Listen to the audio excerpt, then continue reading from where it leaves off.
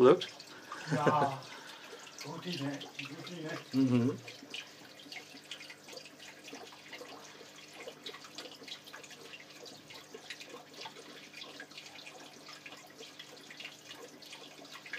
Dit is nog het mooiste hè, van de bovenkant. Hè. Is ook